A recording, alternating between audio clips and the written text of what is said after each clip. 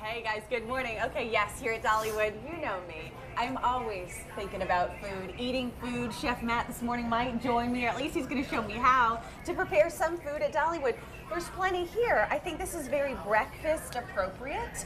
It's Cinnamon any bread. day. Yeah, it's cinnamon bread, and it's it's it's appropriate any time of the day. I love this. Breakfast, okay. lunch, dinner, late dinner. Okay, Chef Matt, you're going to do actually a lot with me today. So Yeah. this bread isn't all, but can I ask you, this is pre-baked. No. This is so before the oven? so this is before the oven. Okay. So this is after it's had about 40 to 45 minutes to uh, to rise and to rise and proof. so we start with dough. Okay.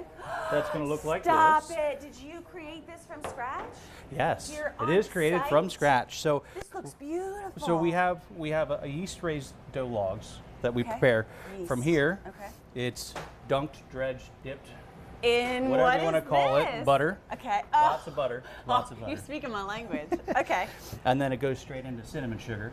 And Butter. after there, it goes into the pans. Oh my gosh. And then it's uh, set into a proofer for 40, 45 minutes, and it's going to look like this. okay. and These then are the the- steps. I like These this. are the steps. And then the whole way at the very end is the finished product. Now you have these beautifully in these containers. Do you get an entire loaf when you come in to the You have a whole whole loaf? loaf, yeah. This is like enough for me for an, about an hour. That'll hold me over. Yeah, well, for, same for me and my family. Very good. Um, you know, and it's one of those things where when we come, uh, we buy two because we eat one by the time by the time we get out of the park, it's That already gone. So then we have one to go So home. if I do that, you won't judge me. No, not at all. We have some people that come in and buy eight to ten loaves.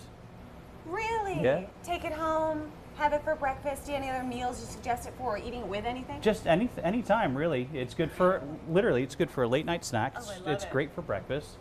Oh, Um, You know, it, anytime. Can we put this together? Yeah, Okay, absolutely. Let's do it. Can I help? Yeah, Ah, absolutely. So I'll so show you one, Okay. and then you can take over from there. Sir, you're on and then I'll be your sous chef. How I'm does that sound? You All right. know I love it. So, okay. so you, you, you can't be too delicate with it uh, because this a little. little Okay, bit. So you're going to take it. You're going to dunk it with the uh, cut side down, You're actually dunking it. Okay. All right. All and then just make sure you get it into the nooks and crannies. Very good. And then from here, Yeah. that side down again. Look at him, guys. He's putting it in. Okay. Nice and nice and covered.